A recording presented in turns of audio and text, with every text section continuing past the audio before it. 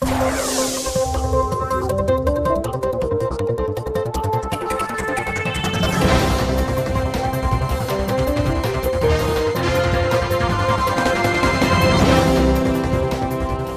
Estamos de regreso en JNE Noticias con lo anunciado. Nos acompaña aquí en el estudio el señor Manuel Seifer, coordinador de Voto Informado. Para este proceso electoral del domingo 11 de junio, la consulta popular de revocatoria, pues ustedes pueden muy bien informarse a través de www.votoinformado.pe. Manuel, ¿cómo está? Bienvenido. Gracias, gracias por tenerme acá.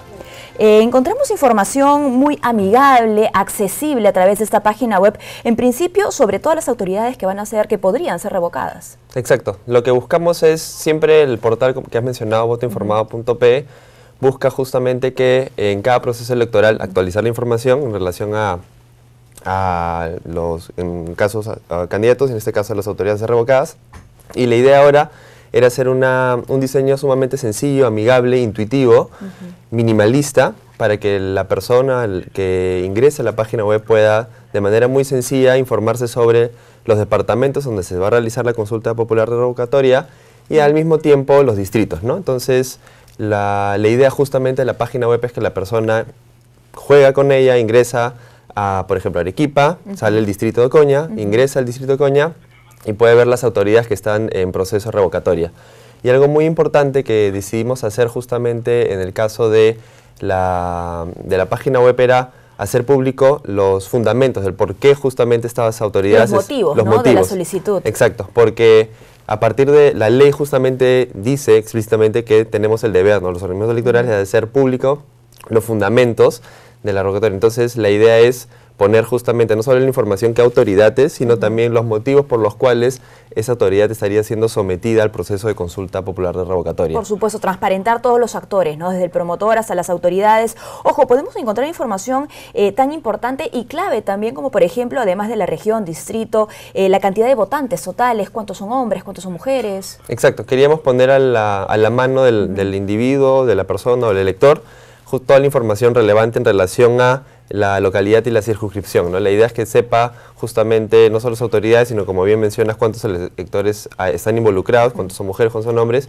Y algo muy importante que hicimos también en la página web es que eh, no solo es la autoridad, sino a su vez la página se relaciona con otra plataforma que tenemos acá en el Jurado Nacional de Elecciones, que es Infobop. ¿no? Entonces, tú puedes ingresar a la, que, a la autoridad y luego ver, digamos, los antecedentes. Hacer el enlace hacer con Infobop. Exacto. Estamos viendo en imágenes en este momento un poco de la navegación. Como pueden ver, es bastante sencilla, accesible, intuitiva, como ha dicho Manuel, nuestro invitado. Y si pues la información que encontramos en, en esta eh, web no es suficiente, queremos indagar aún más ¿no? sobre la autoridad en este proceso, podemos hacer el enlace con Infobop y en Infobop encontramos pues ya el historial partidario, ¿no? los procesos electorales, incidencias electorales, la estabilidad que ha tenido en el cargo y la participación ciudadana, es decir, todo un panorama completo de la autoridad.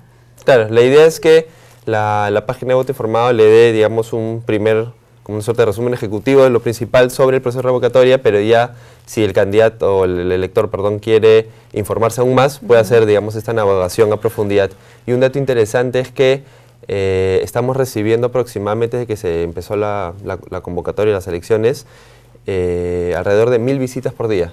Estamos teniendo, sí, en las últimas dos, en las dos últimas semanas, alrededor de 14.600 visitas, lo que significa unas mil visitas por día y es un ritmo que se ha mantenido también los dos últimos meses. Claro, es que no puede pasar que el ciudadano llegue ¿no? al proceso electoral ese domingo 11 de junio y no sepa. Exacto. ¿no? Que de repente conozca el nombre de la autoridad que va a ser parte del proceso, pero que no sepa los motivos. Exacto. ¿no? Y, y, esa es la idea, ¿no? La idea detrás justamente de voto informado es brindarle todas las opciones disponibles para que esté sumamente informado el, votante y pueda emitir no solo un voto informado, sino también responsable en este domingo 11 de junio. Algo muy interesante que contaste hace algunos días era cómo eh, las visitas no quedan solo en eso, ¿no? sino que además la gente está contrastando información entre el plan de gobierno que está colgado en Infogop, ¿no? como, como archivo adjunto, y quizá la, la práctica, ¿no? aquello que se está llevando a cabo o no.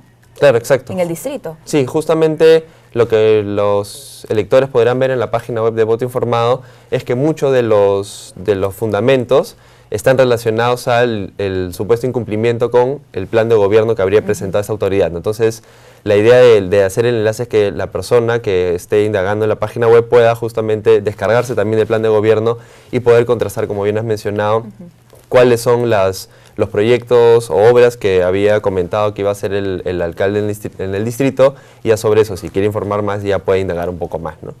Eh, algo sobre el promotor, ¿no? En este caso eh, me llamó la atención entrar a la página, no navegué bastante tiempo. Eh, ¿Un promotor puede ser promotor, perdóname, de varias autoridades? No, eh, el promotor es solo del distrito, no está circunscrito a la circunscripción.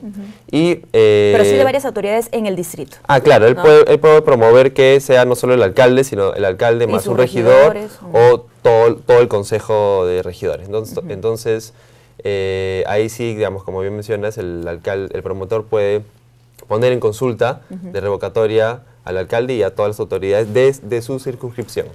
Tenemos algunos días aún para mantenernos informados, para estar pues ahí atentos a toda la información compartida. Es una invitación, por favor, para que la gente visite www.votoinformado.p.